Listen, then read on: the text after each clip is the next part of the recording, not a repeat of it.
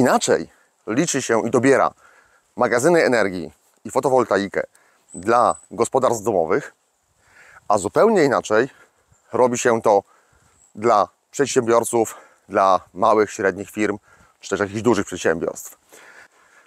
Obserwujcie kanał, dlatego że e, w niedługim czasie, naprawdę już za, za krótką chwilę, będziecie mogli zobaczyć, co słychać w projekcie, który od dawna realizuję, czyli w tej takiej pięknej, lotnej nazwie magazyn energii za 900 tysięcy plus pierdoły.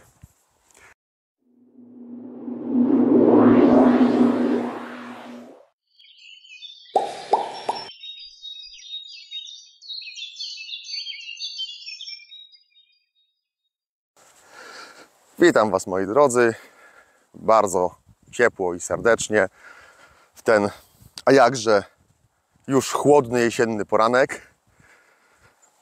Taki mały niedzielny spacerek, żeby trochę porozmawiać z Wami na temat magazynów energii i tego, co dzieje się generalnie obecnie. Zobaczcie, czy to, co wiele razy powtarzałem i powtarzam zresztą do dzisiaj, czy to nie zaczyna nabierać pewnej siły i faktu. Ilość to osób śmiało się, że magazyny energii się nigdy nie przyjmą, że to nie ma sensu, że przecież w ogóle fotowoltaika nie ma sensu. Nie mówiąc już o tym, że nadal pojawia się często stwierdzenie, no przecież to się nigdy nie zwróci, no to, to, to, to jest pozbawione w ogóle kompletnie jakiegokolwiek wyliczenia, tak, czy, czy, czy, czy analizy i tak dalej. Wiecie, że ja się z tym nie zgadzam, jestem wielkim zwolennikiem niezależności energetycznej, ale tutaj trzeba wziąć pod uwagę pewną rzecz. Inaczej liczy się i dobiera magazyny energii i fotowoltaikę dla gospodarstw domowych, a zupełnie inaczej robi się to dla przedsiębiorców, dla małych, średnich firm, czy też jakichś dużych przedsiębiorstw. Wielu z Was też widząc niektóre realizacje, na przykład ostatnio, jeżeli ktoś jeszcze nie widział, to zachęcam, tu macie kartę, patrzy na tego typu realizacje przez pryzmat prywatny. Czyli, no tak, ja tam płacę sobie za prąd 300 zł, to gdzież mi się coś takiego zwróci? No właśnie, to jest zasadniczy błąd, bo pamiętajcie, że magazyn energii czy fotowoltaika muszą być odpowiednio dopasowane do potrzeb.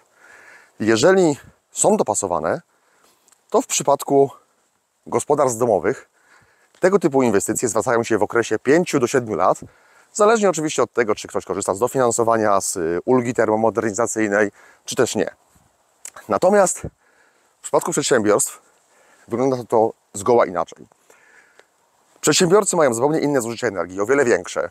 Yy, przede wszystkim mają inny profil zużycia, bo to, to też właśnie wielu z Was tego nie rozumie i nawet tego pod uwagę nie bierzecie. Profil zużycia energii. Jak można by było spojrzeć na to najprościej? No, jeżeli wy, wstajecie rano, to macie jakąś tam powiedzmy konsumpcję energii w godzinach, nie wiem, 6, 7, tak, śniadanko, jedziecie do pracy, potem jest przerwa, czyli wtedy, kiedy na ogół jest słonecznie, to Was nie ma w domu, ta energia trafia do sieci lub też nie trafia, no bo wiadomo, wysokie napięcie i instalacja się wyłącza, więc sens instalacji, zwłaszcza na netbillingu, jest bliski zera często. Natomiast w przypadku, kiedy mówimy o powrocie z pracy, no to wtedy się zaczyna największa y, autokonsumpcja i największe jak gdyby zapotrzebowania na tą energię. I teraz jeżeli macie sieć, no to jeśli jeszcze jesteście w starym systemie, w starym prosumencie, no to oczywiście, o ile instalacja działała, bo nie było zbyt wysokiego napięcia, to już tą energię sobie odbieracie ze współczynnikiem 0,8 czy tam 0,7, prawda, zależnie od mocy. Natomiast jak jesteście w dead billingu, no to zakładając, że instalacja działała w ciągu dnia, to zobaczcie, musicie oddać praktycznie 7 kWh, żeby jedną sobie wyciągnąć. No, dla mnie bez sensu, ale jeżeli ktoś uważa, że 20 groszy versus złoty 40 czy złoty 50 jest ok, to w porządku. Ja nie mam z tym problemu. Natomiast wiadomo, że właśnie te godziny popołudniowe te godziny popołudniowe to jest największe zapotrzebowanie na energię. I teraz godzina 17, 18 do 22, 23 najwięcej korzystacie. I wtedy też energia w sieci jest najdroższa. I teraz dobrze dobrany magazyn energii umożliwia Wam coś takiego, że wtedy, kiedy Was nie ma w domu, kiedy właśnie jest pogoda słoneczna, czy też, czy też yy, fotowoltaika by nie działała, bo jest zbyt wysokie napięcie w sieci, to możecie mieć zasilanie wyspowe. Yy, możecie ładować ten magazyn, bo on zawsze tą energię przyjmie i wtedy macie na wieczór, czy też na noc, tą energię skumulowaną do autokonsumpcji. Najlepsze co może być. Natomiast jeżeli spojrzycie na to przez pryzmat opłacalności, no to znowu jeden będzie potrzebował 15 kWh, inny 10, a jeszcze inny 20 czy 40. Każdy dom jest inny, każda instalacja jest inna i tego się nie da porównać. Wy często piszecie, nawet pod tym ostatnim filmem powiem Wam, nie wiem, ile set razy odpisałem, jaki był przedział cenowy tej realizacji, ale to, to się ma nijak, dlatego że byłaby druga podobna instalacja i właśnie mówię, podobna, słowo klucz. I ona by kosztowała zupełnie inaczej, zwłaszcza też, że ceny się zmieniają na rynku. Niektóre komponenty tanieją, niektóre drożeją, także tu nie ma co patrzeć na to, że ile, ile coś kosztowało, bo za dwa tygodnie będzie inaczej. Także, także to też jest bardzo ważny aspekt. I teraz wróćmy do profilu zużycia energii w firmach, bo w domach żeśmy to w miarę omówili. Natomiast w firmie wygląda to też zupełnie inaczej. Są przedsiębiorstwa, które wiadomo, pracują na jedną zmianę.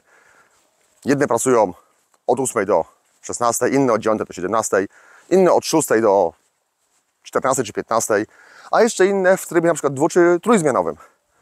No i tu też jest inaczej. Bo wiadomo, że im dłuższa praca, tym większe zużycie energii. Im więcej ludzi, im większe przedsiębiorstwo, tym tego wszystkiego będzie więcej. Także musicie też wziąć właśnie pod uwagę, że to nie jest tak, jak niektórzy myślą, że właśnie no ileż ta firma wydała, ileż y, ten przedsiębiorca musiał zapłacić za ten magazyn energii, przecież to mu się nigdy nie zwróci.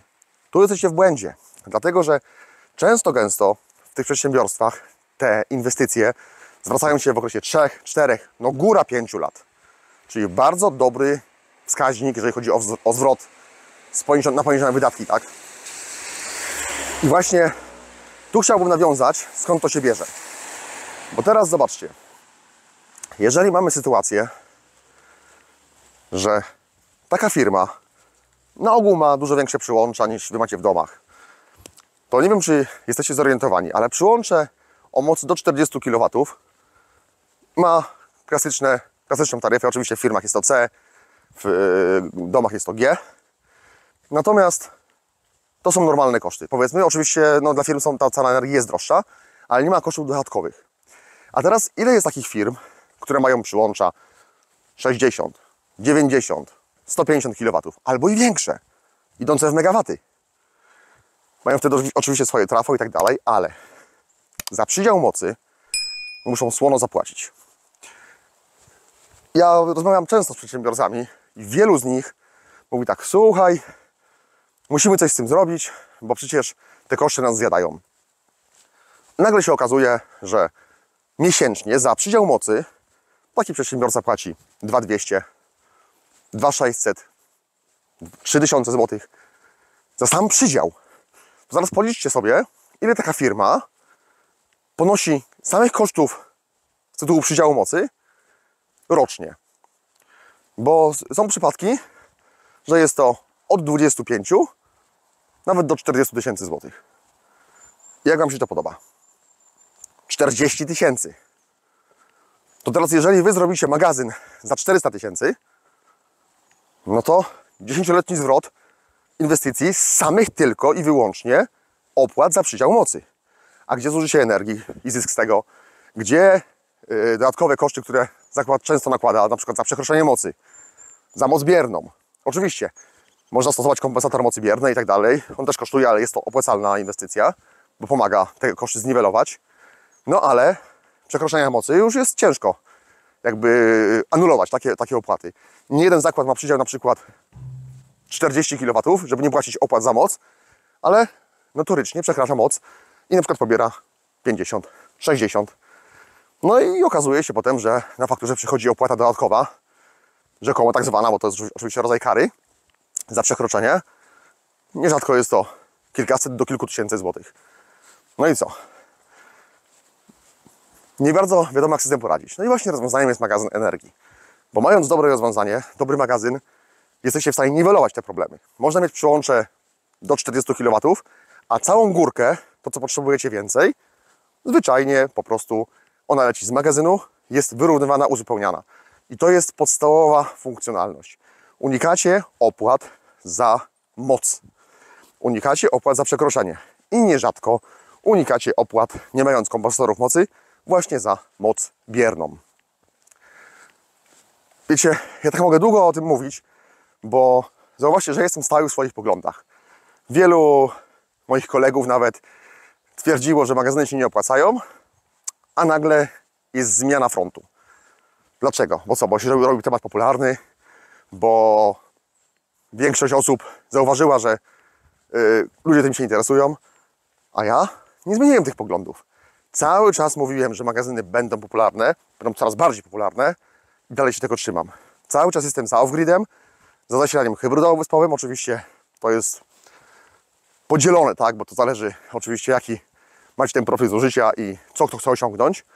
Wiadomo, że zasilanie hybrydowo-wyspowe będzie zdecydowanie tańsze od pełnego off-gridu, a zwłaszcza od off-gridu takiego bez agregatu, bo to jest naprawdę wyzwanie, ale da się to zrobić. I powiem tak, nie chciałbym przeciągać e, tego mojego wywodu dzisiaj, bo sobie pewne tematy zostawimy na kolejne materiały.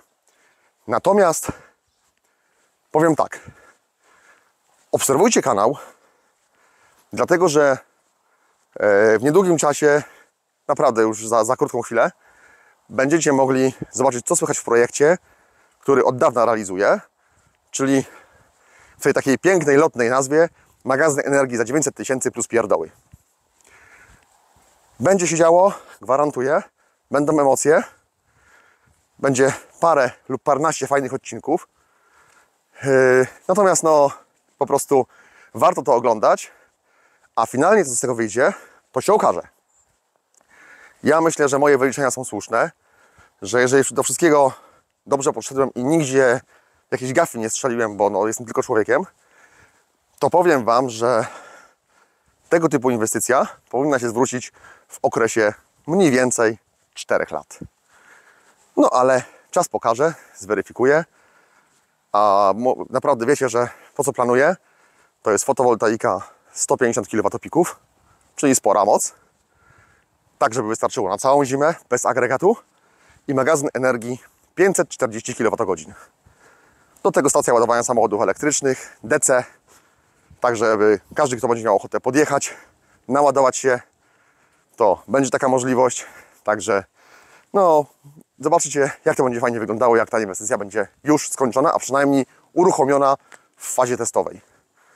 Zapraszam serdecznie do oglądania, do subskrybowania, do wspierania kanału, jeżeli możecie, bo ostatnio, to powiem Wam szczerze, mało tych wspierających jest.